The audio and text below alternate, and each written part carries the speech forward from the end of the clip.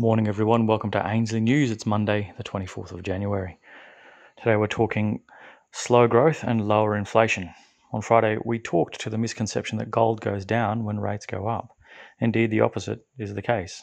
Part of this is the reality of market behavior after a recession.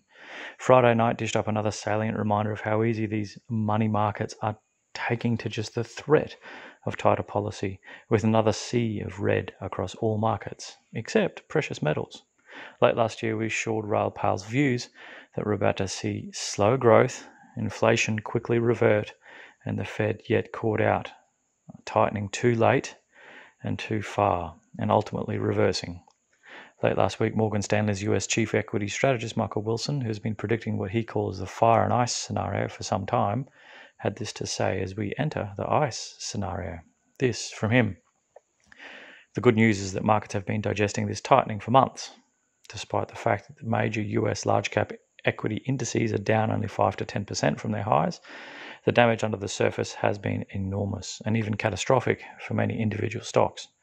Expensive, unprofitable names, i.e., the most speculative parts of the equity market, have been hit the hardest, down 30 to 50%. This is appropriate our, in our view, not just because the Fed is pivoting, but because these kinds of valuations don't make any sense in any investment environment. In short, the froth is coming out of an equity market that simply got too extended on valuation.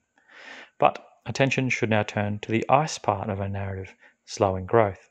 As we've been writing for months, we view the current deceleration in growth as more about the natural ebbing of the cycle than the latest variant of COVID. Indeed, there are reasons to be optimistic that Omicron will pr- prove to be the final wave of this pandemic. However, that also means the end of extraordinary stimulus, both monetary and fiscal. It also means looser supply chains as restrictions ease and people finally return to a normalized workplace. Better supply is good for fighting inflation, but may also reveal the degree to which demand has been supported and overstated by double ordering. Weaker PMIs are already leading the stocks in this regard. In Pal's latest In Focus for Macro Insiders, he again points out that this is a well trodden road that the market seems to forget each time. You can see in his chart that he shows today, below of the 10 year uh, yields since 1982. After each recession, we saw a rise in rates that didn't stick, followed by new yield lows. You can also see it in the ISM, which is a proxy for GDP growth. Growth slows rapidly after the initial recovery and only gets real traction later in the cycle. Pal then goes on to share a number of charts indicating that growth has started to slow and is about to accelerate down.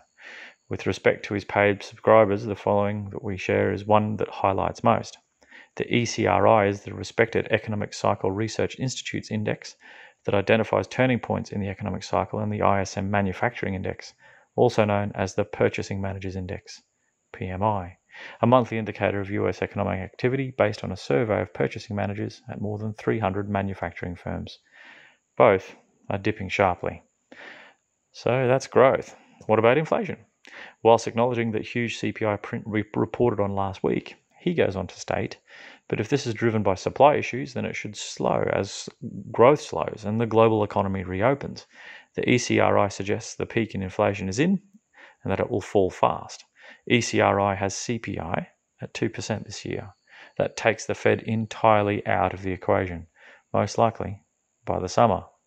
Pal is laying out the framework for a volatile year ahead, but one where the Fed will predictably tighten too hard too late, and then later be forced to reverse after doing so into a slowing economy and inflationary environment, suggesting you buy gold, as such a long consideration or consolidation tends to lead to fast advances.